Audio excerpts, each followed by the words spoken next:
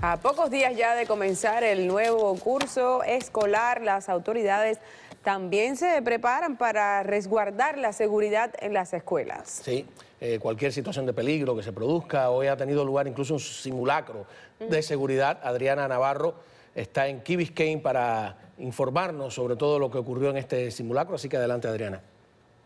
Efectivamente, me encuentro en el Colegio Público de Key Biscayne, donde la Policía Escolar del Condado Miami-Dade ha realizado una serie de simulacros. La idea es estar lo mejor preparados posibles ante una alerta de peligro en los colegios.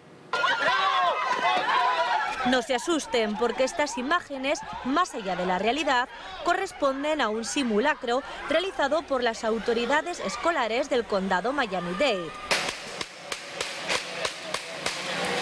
El simulacro ha incluido un tiroteo, niños heridos y un ataque químico.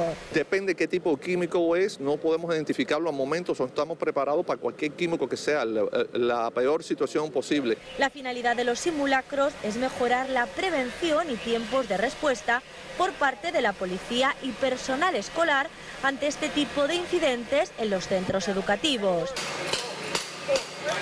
Y es que a dos semanas justas de comenzar las clases, todo debe estar listo. Y es importante que los padres tengan la seguridad de que sus hijos están bien protegidos. La Policía Escolar de Miami-Dade es la policía escolar más grande en el sureste de los Estados Unidos. Estamos preparados y entrenamos constantemente.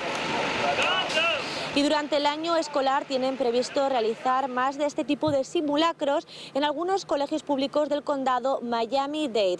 Si ustedes como padres tienen inquietudes o preocupaciones al respecto y quieren saber cómo procede la policía ante este tipo de alarmas o de peligros, pueden ingresar en la página de internet que aparece en estos momentos en pantalla.